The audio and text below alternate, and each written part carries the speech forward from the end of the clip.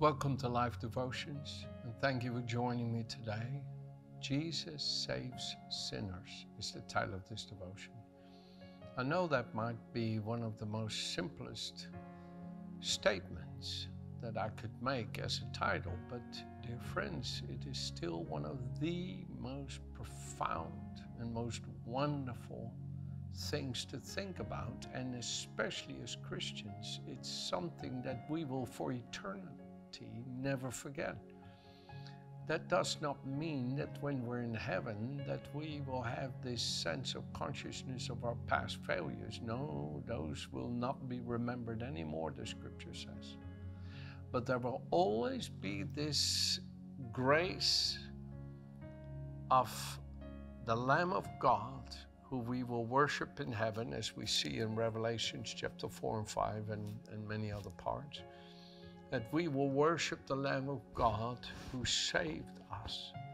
There will always be that, that power unto salvation by which we acknowledge that we are we, who we are by the grace of God, that we are partakers of the divine nature because of the incredible goodness and mercy of God. There will always be this divine sensitivity of gratitude.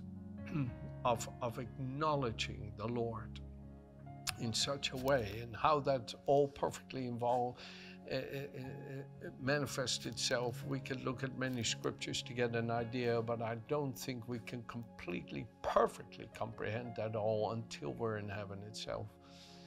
But today I want to just again, oh, let that breath of mercy, that breath of grace breathe upon your tender hearts to say, Oh, amazing grace, how sweet the sound that saved a wretch like me. I was blind, but I see. I was lost, but I'm found.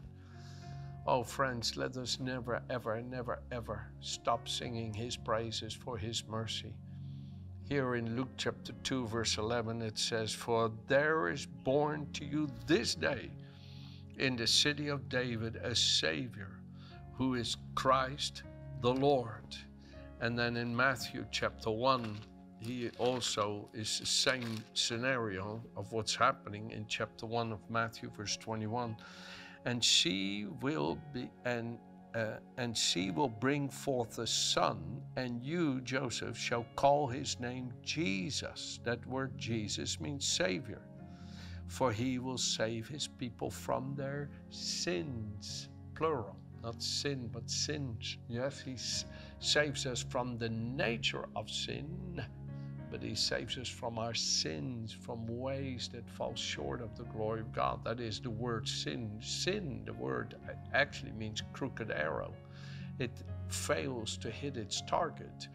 And, and sin can have a promise of great pleasure and fulfillment, but it will never reward you according to its promise because it doesn't have the power to do so.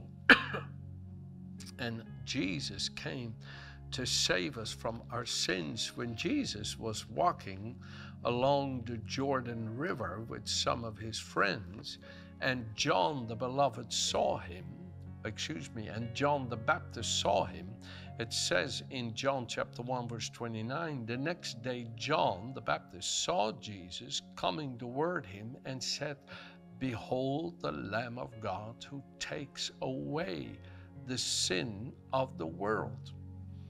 Friends, this is, I still must continuously be filled with the consciousness of this. Why? Because every religion will always be tested in its authenticity, in its confrontation with sin because there is no other name given unto man by which we must be saved but the name of Jesus, we read in the book of Acts. His name is exalted above every other name, and at his name every knee must bow and tongue confess that Jesus Christ is Lord. The Savior anointed is now the Master, the Lord. And Jesus Christ, my friends, is always needing to be revealed to show the authenticity of any religion. You see, even within what would be the Christian religion, you can know if Jesus Christ is present in his spirit and power because he is there not to condemn the world, but that the world through him might be saved. For me, my friends, in being a pastor in this church, Life Church here in Folkestone, and coming to you through these devotions, for me, what's the most important is that you feel His life giving spirit coming into you, liberating you from the lower nature in your flesh of sin and lifting you out of that lower nature into His heavenly nature where there is no sin, where you enjoy perfect righteousness and peace with the Father. To me, that is the most important thing about these devotions. And all that I can share with you, I pray that the true bread of heaven, Jesus, is in these devotions by the Holy Spirit. And that you say, Oh, when I listen to these devotions, I feel the life of the Son of God springing up in me. I feel the love of God coming into me. you see, that's because we share the same Spirit, the Spirit of life in Christ together. That is for me the most important reason for doing these devotions. Timothy was a pastor of a phenomenal church and Ephesus. And Paul was writing his dear friend Timothy two letters, 1 Timothy and 2 Timothy. 2 Timothy is the last of the 13 letters of Paul that we have in the Bible. It's the last letter he wrote just before he was beheaded outside of Jerusalem, according to tradition. And his first Timothy, he's writing Timothy. And the argument that he was trying to help Timothy with is that Timothy was a pastor with humans, with people. And people in the natural nature, like you and me, have sin and can act natural and human. And then people would come, traveling ministers, so to speak, would come, and they would say, Yeah, the reason you still have these problems in your church, Timothy, is because you're not the way you should be. If you really want to be godly, you need to get everybody circumcised, all the men circumcised, because the law says you should be circumcised. And they should keep the Sabbath. And they should keep the feasts. And they and they and this is what all they should do. But you see, salvation is not what we do, but it's what He has done. And these teachers were not sent by Jesus. And they were representing that which was but a shadow and a type in the Old Testament that now is fulfilled in the new through Jesus Christ coming into us by His Holy Spirit. What it foreshadowed in the old is fulfilled in the new through Jesus Christ in us. And, and Timothy really was having a hard time with, yes, Paul, but what do I do with these people's human natures and their behaviors and their attitudes and their arguments and the marriage breakups and, and, and the lusts and the fears and, and, and the angers and, and you know, and, and what do I do? And these preachers are coming and they say, well, it's because I'm not doing this and it's not because I'm doing that. And what do I do? And then Paul, then Paul, who was a true representative of Jesus. Oh, look what he says here in 1 Timothy chapter 1, starting at verse 12. I thank Christ Jesus our Lord, who has enabled me because he counted me faithful, putting me into the ministry, although I was formerly a blasphemer, a persecutor, an insolent man, violently arrogant but I obtained mercy because I did it ignorantly in unbelief. And the grace of our Lord Jesus was exceedingly abundant with faith and love which are in Christ Jesus. And this is a faithful saying, Timothy, and worthy of all acceptance that Christ Jesus came into the world to save sinners, of whom I am chief. However, For this reason I obtained mercy, that in me first Jesus Christ may show all long suffering as a pattern to those who are going to believe on him for everlasting life. Now to the King eternal, immortal, invisible, to God alone, who is wise, be honor and glory forever and ever. Amen. So let me just quickly recap a few of this from the Living Bible.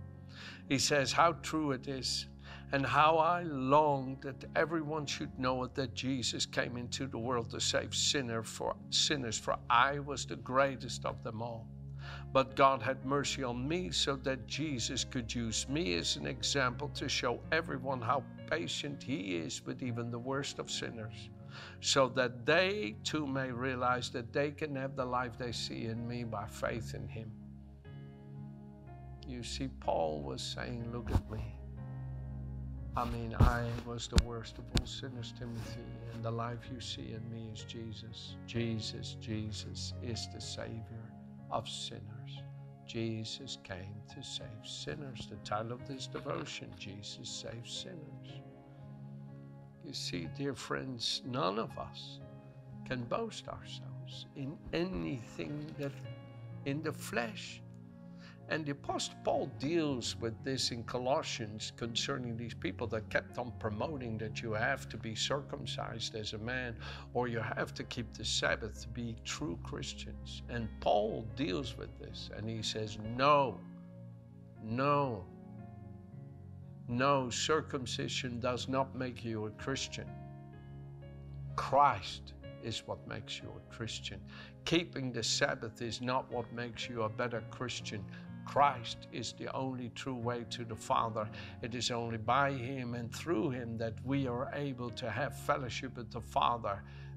He is our Sabbath. Through Him we enter the rest of His heavenly life with the Father. In Him we enter into that rest where we completely come to rest of our own works, of our own, uh, own strivings to be righteous and holy. Now, through Him, we receive perfect righteousness, peace, and joy through the Holy Spirit to live in the rest of communion and fellowship with unbroken communion and fellowship with the Father through His high priestly ministry. No. No, he deals with it in Colossians 2 and in other places. But let me close with you here from Romans chapter 7, verse 18 and 20. Paul says, I know that in me, that is in my flesh, nothing good dwells.